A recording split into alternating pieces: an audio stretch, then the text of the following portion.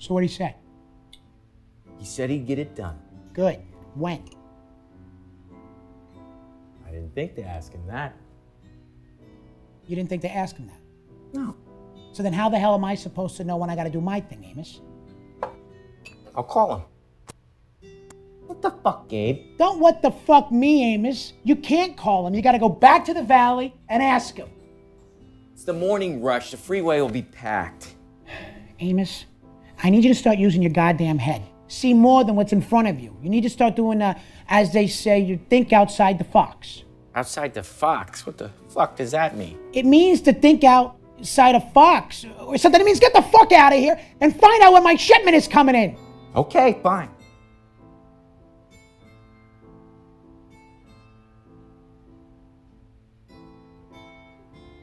Hey, Gabe. George, You okay? Amos is a fucking idiot. Yeah, he is. How we came out of the same twat is beyond me.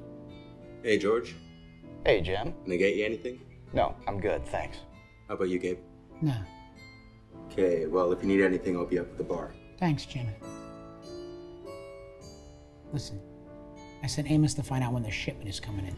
Good.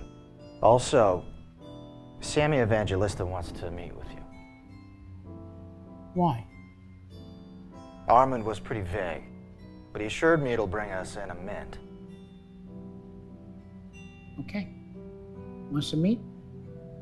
We'll meet.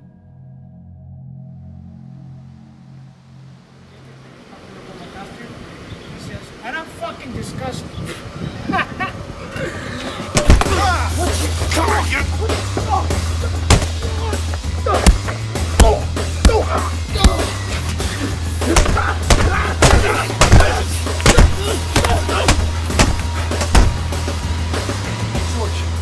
you okay? Yeah.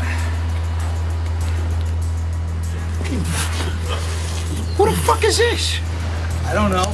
Let's take him to the basement. Get over. When I get finished with you, you're gonna wish you never heard of Gabriel Pacelli, you son of a bitch!